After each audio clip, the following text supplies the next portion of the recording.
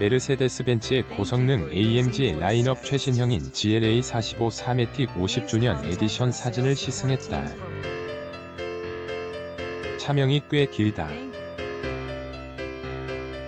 풀어쓰면 메르세데스 AMG 탄생 50주년을 기념하기 위해 특별히 제작된 배기량 2000cc 이하 GLA 사륜 구동 모델이다.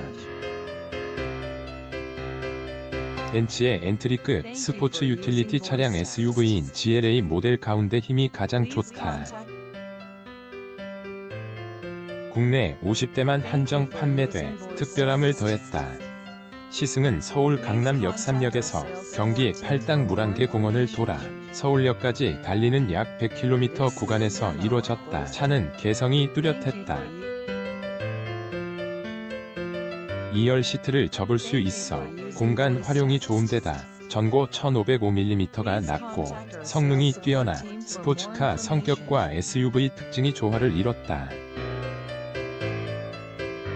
운전석에 앉자마자 운전자 허리를 꽉 감싸주는 스포츠 버킷 시트와 가속을 유발하는 알루미늄 스포츠 페달 등에서 고성능 AMG 특징이 잘 묻어났다. 경기 광주로 가는 올림픽 도로에서 가속 페달을 깊이 밟았더니 배기음이 우렁찼다. 주행의 백미는 AMG 특유의 거칠게 포효하는 배기 사운드였다. 주행 모드는 운전 중에도 변속기 아래 있는 다이얼 버튼 조작으로 컴포트, 스포츠, 스포츠 플러스 세 가지로 바꿀 수 있다.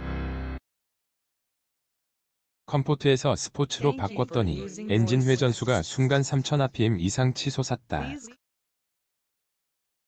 스포츠에서 스포츠 플러스로 전환했더니 4만 rpm까지 엔진 회전이 빨라지면서 배기음이 더욱 커졌다. 페달은 살짝만 깊게 밟아도 앞으로 치고 나가는 가속감이 강하게 느껴졌다. 배기량 1991cc 직렬 4기통 가솔린 터보 엔진 최고 출력 381마력, 최대 토크 48.4kg, M은 마치 고성능 디젤 스포츠카를 타는 듯한 착각을 불러왔다. 제원을 확인했더니 정지 상태에서 시속 100km 가속까지 4.4초라고 기록돼 있다. 시속 70에서 100km 도심 운전에선 기어 변속 5에서 6단에서 가장 역동적인 주행감을 선사했다. 스티어링 휠에 부착된 패들 시프트 조작으로 운전 중에도 기어 변속이 편리했다. 시속 100km 이내 주행에서 듀얼 클러치 변속기 DCT의 최고 7단까지 높였더니 엔진 회전수는 1300까지 내려갔다. 한정판답게 외장과 실내 인테리어에는 검은색과 노란색의 독특한 디테일을 부각시켰다. 블랙 메탈릭 컬러를 입은 외관은 사이드 미러와 사이드실 패널 차량 측면 하단부의 프레임을 대신하는 패널, 타이어, 휠, 범퍼 등의 노란색 줄무늬를 새겼다. 앞시트와 스티어링 휠, 통풍구 등 인테리어 곳곳에도 동일하게 노란색 줄무늬가 들어갔다.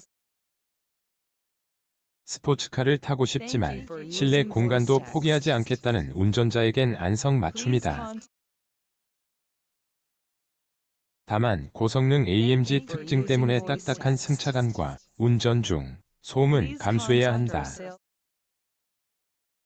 가격은 7,800만원. 김정훈 한경닷컴 기자 렌논 에 한경.